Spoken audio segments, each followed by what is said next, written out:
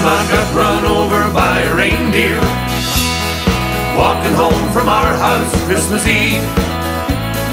You can say there's no such thing as Santa. But as for me and Grandpa, we believe. She'd been drinking too much eggnog, and we begged her not to go. But she left her medication, and she stumbled out the door into the snow. When they found her Christmas morning at the scene of the attack, there were hoofprints on her forehead and incriminating claws marks on her back.